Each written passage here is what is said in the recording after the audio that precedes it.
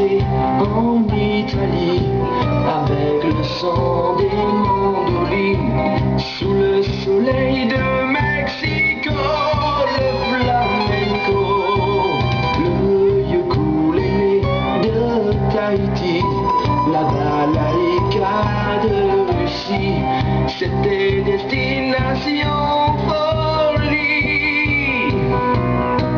Ce voyage est arrêté magique qui ne peut jamais.